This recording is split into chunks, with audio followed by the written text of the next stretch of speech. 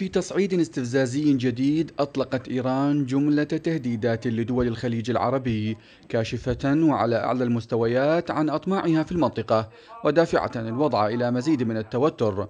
فقد نشر المرشد الإيراني علي خامنئي على حسابه الرسمي في تويتر تغريدة قال فيها إن الخليج الفارسي هو بيت الشعب الإيراني وإن ساحل الخليج إضافة إلى مساحة كبيرة من سواحل بحر عمان تتبع لإيران. تصريح خامنئي تزامن مع حديث أدلى به قائد البحرية في الحرس الثوري علي رضا تنغسيري زعم فيه أن كل الخليج هو ملك لأرض فارس وأن المنطقة كلها كانت تسمى منذ القدم الخليج الفارسي. مشيرا إلى أن ما يؤكد فارسية الخليج هو أن البحرين كانت محافظة إيرانية حتى عام 77 من القرن الماضي. وأضاف تنغسيري أن خامنئي فضلا عن تعصبه لفارسية الخليج أصدر أوامره لبدء بناء الجزر العربية التي تحتلها إيران بغية إسكانها.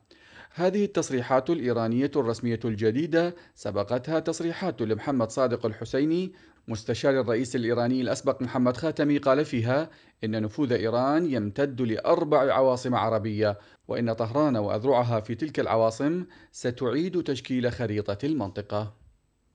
نحن سلاطين البحر الأبيض المتوسط الجدد نحن سلاطين الخليج الجدد نحن محور المقاومة. نعم. طهران دمشق الضاحية بغداد صنعاء. نحن سنصنع خريطة المنطقة.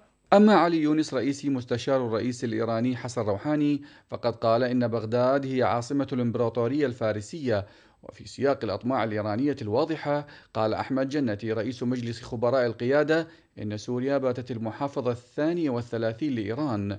تصريحات وجدت لها صدا حتى لدى وكلاء طهران ليكرروها دون حياء كما في مطالبة موفق الربيعي مستشار الأمن الوطني وعضو حزب الدعوة بإلحاق محافظتي البصرة وميسان بإيران.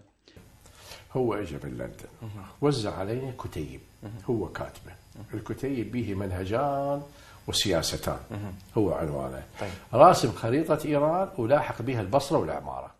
لم تكتفي إيران باحتلال إقليم الأحواز العربي والجزر الإماراتية الثلاث ولم يكفها تدميرها للعراق وسوريا وعبثها بمصير لبنان واليمن. فراحت تفتش في كتب التاريخ والجغرافيا بحثا عن مغامرة جديدة.